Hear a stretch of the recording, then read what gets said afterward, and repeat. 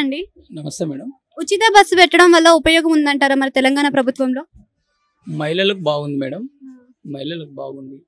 వాళ్ళు ఎక్కడ పోయినా ఫ్రీగానే ఉంది కాబట్టి ఉచిత బస్సు మంచిది అనిపిస్తుంది మహిళలకు. అంటే మగవారికి? మగవారికి లేదు మాకు అందరికీ లేదు కాబట్టి వాళ్ళకి లేదు. వాళ్ళకి ఇచ్చింది కాబట్టి ఇంకా ప్రతి ఇంటిలో ఒక అమ్మాయి ఉంటుంది కాబట్టి ఖచ్చితంగా ఆడపిల్ల ప్రతి ఇంటిలో ఉంటుంది కాబట్టి తప్పకుండా మంచిదే అనిపిస్తుంది. అంటే ఇది ఫ్రీ బస్సు పెట్టిన కాడ నుంచి బస్సుల సంఖ్య అనేది తగ్గించారు అంటున్నారు కదా. అది నేను అంత ఆలోచించలేదు మేడం. అయితే. మళ్ళీ ఫ్రీ బస్ వచ్చిన కాడ నుంచి రష్ ఎక్కువైంది. ఆడోళ్ళు దేనికి ఏ పని లేకపోయినా ఉత్తి పుణ్యానికి ఎక్కుతారు అంటున్నారు. అని అంటున్నారు మేడం. బయట అయితే ఉంది అటాక్ అయితే ఉంది. కానీ మనం వాళ్ళని వాళ్ళకి ఏ పని లేదని ఎట్లా చెప్పగలుగుతాం చెప్పలేము. ఖచ్చితంగా కొందరు అయితే అంటున్నారు ఏం పని లేకుండా పోతున్నారంటే వాళ్ళు పని లేకుండా భర్త బయటికి రానిస్తాడా? రానియలేడు. ఎందుకు పోతున్నావు? అట్లనే రకరకాల క్వశ్చన్స్ ఉంటాయి కదా. లేదు పెట్టుకున్నప్పుడు బస్సులో పోతుంది అంటున్నారు నువ్వు కొట్లాడిందంటే ఆమెకు బస్ ఫ్రీ కాబట్టి తల్లిగారింటికి వెళ్ళిపోతున్నాం మేడం. అంటే ఇప్పుడు ఉపయోగం ఉందంటారా? మహిళలకైతే మేలే మేడం. ఉపయోగమే కదా అది. బయటకు వస్తుందంటే మహిళలకు మేలే అనిపిస్తుంది.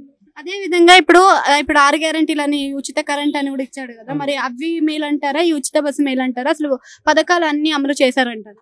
అమలు ఇంకా కాలేదు మేడం. ఒకటి ఫ్రీ బస్ ఒకటే అమలు అయింది. మిగతాది ఏది కాలేదు.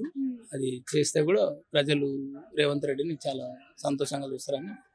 గత ప్రభుత్వం బీఆర్ఎస్ ఉంది. బీఆర్ఎస్ ఇలాంటివి ఏవీ లేవు పథకాలు. ఇప్పుడు ఈ ప్రభుత్వంలో ఇస్తున్నారు కదా మరి ఏ ప్రభుత్వం మేలు అంటారు మేడం ప్రభుత్వం వాళ్ళు కూడా బాగానే చేశారు. కాకపోతే వాళ్ళు ఉచిత పథకాలను చేసి కొద్ది అమౌంట్ను ఈ దళిత బంధు బీసీ బంధు ఇవి పెట్టి వాళ్ళు ఏం చేసినట్టే పది కుటుంబాలు ఉంటే ఒకరికి ఇచ్చిండ్రు. పది కుటుంబాలలో ఒకరికి ఇచ్చిండ్రు బీసీ బంధు అని.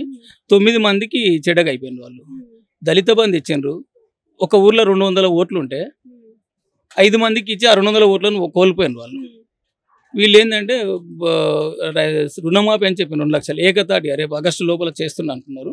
అది చేస్తే రేవంత్ రెడ్డిని సంతోషపడంగా రైతులు. ఇంకా ఈ ఆరు గ్యారెంటీ ఉన్నాయి ఇంకా కొన్ని గ్యారెంటీ అవి ఎలా అమలు చేస్తే చాలా మేలు.